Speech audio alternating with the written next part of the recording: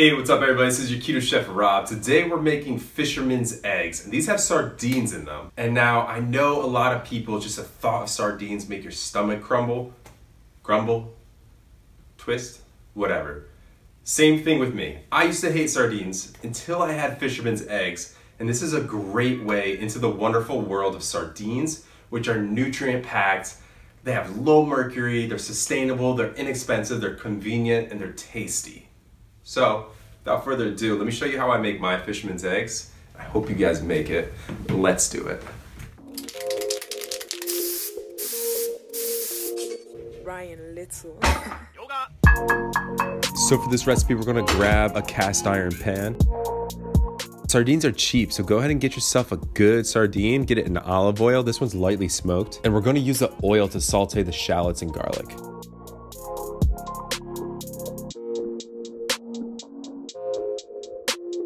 Now, shallot has a bunch of onion flavor, but it's a little bit more delicate. You can slice it nice and thin, and it works really good with fish and garlic.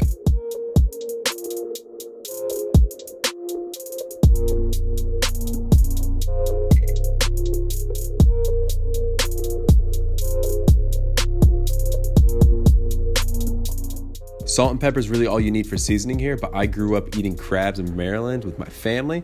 So, Old Bay. If we're gonna do a seafood recipe, I'm putting a ton of Old Bay on it. That's just how I roll, and I think it goes really well with this recipe. Finally, we're throwing on a bunch of organic, fresh Italian parsley. Exact measurements don't matter here. Just get enough that it covers the pan.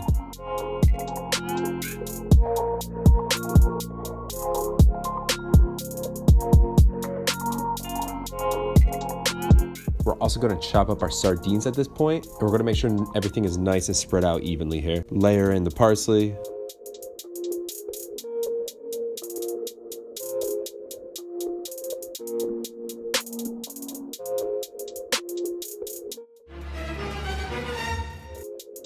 and then go ahead and just drop some eggs on top, season it again with all the seasonings. And then at this point, it's really important to make sure you get that pan super hot before it goes in the oven or else it won't cook. 350, put it on the top shelf because you want that heat to reflect down.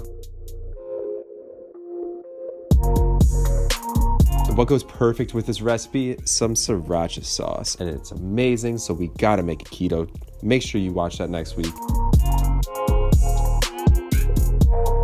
It turned out really well. And so did these fisherman's eggs. I'm telling you, if you're gonna eat breakfast, do it right with some sriracha sauce and some fisherman's eggs. Best way to start your day. Thank you so much for watching, everybody. Share this with someone you know that would love it.